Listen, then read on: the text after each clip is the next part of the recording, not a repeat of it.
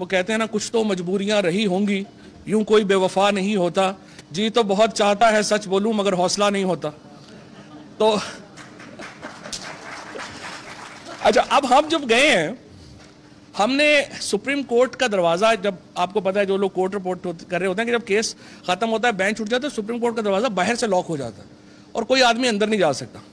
अब इतफाक से मैं और एक दो, हमारे और दोस्त जो थे हम लोग पहले पहुँचे और हमने दरवाज़ा लॉक खोला और हमारे सामने हम लॉक खोलने के बाद अंदर गए तो पता चला चीफ इलेक्शन कमिश्नर और सेक्रेटरी पहले ही लॉक शुदा कमरे में मौजूद है। अच्छा अब ये कैसे हुआ? अब ये भी वही हुआ कि वो फिर आपको बाद में बताऊँगा। बहरहाल, फैसला आपके सामने आ गया मुआवजा हो गया। हम इलेक्शन की तरफ़ जाते जाते इधर चले गए। अब सवाल यह है कि क्या ये ऑपरेशन रिजीम चेंज ऑपरेशन जो है ये मुकम्मल हो गया? आंसर इज़ नो दो दिन पहले आपने देखा होगा कि लंदन के एक दरिया में एक हनीमून टाइप पिक्चर आई, जिसमें नजम सेठी साहब और नवाज़ शरीफ साहब लेटे हुए हैं बोट पे। आमतौर पे नई नई शादी के बाद इस तरह की तस्वीरें आती हैं, लेकिन यहाँ पे तस्वीर आ गई। ये तस्वीर कोई ऐसी इंपॉर्टेंट नहीं थी, चलें आ गई। लेकिन इशू क्या हुआ? उसके बाद नजम सेठी साहब ने रात को एक प्रोग्राम किया।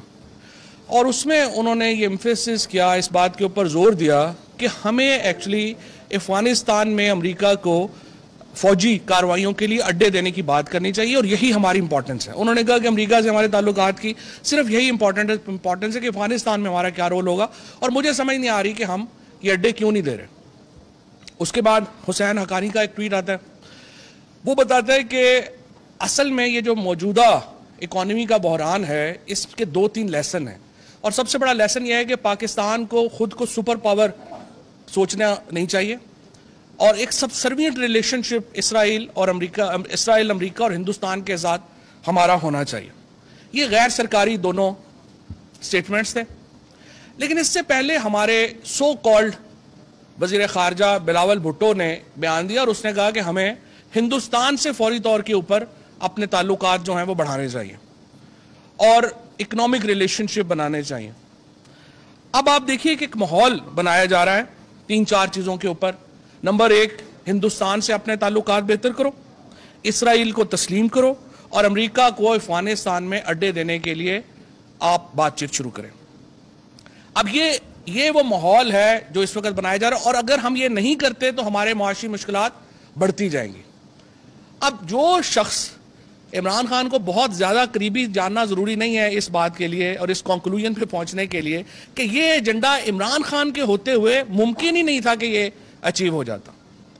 लिहाजा एक पूरा रजीम चेंज ऑपरेशन जो है वो लॉन्च किया गया।